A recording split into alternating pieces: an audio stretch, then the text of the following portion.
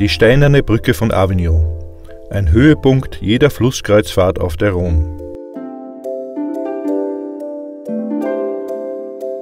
Das Bauwerk, von dem nur vier Bögen übrig sind, trägt den Namen des heiligen Benedikt, der die Einwohner der Stadt mit Wunderkräften von der Notwendigkeit des Baus einer Brücke überzeugte. So lautet zumindest die Legende.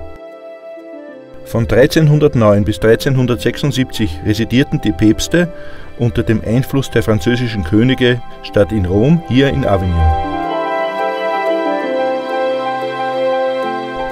Ihr Palast, das größte gotische Gebäude überhaupt, erhebt sich über dem Fluss als geradezu monumentale Demonstration weltlicher Macht und diesseitigen Prunks, ein Weg der Kirche, der direkt in die Reformation führte.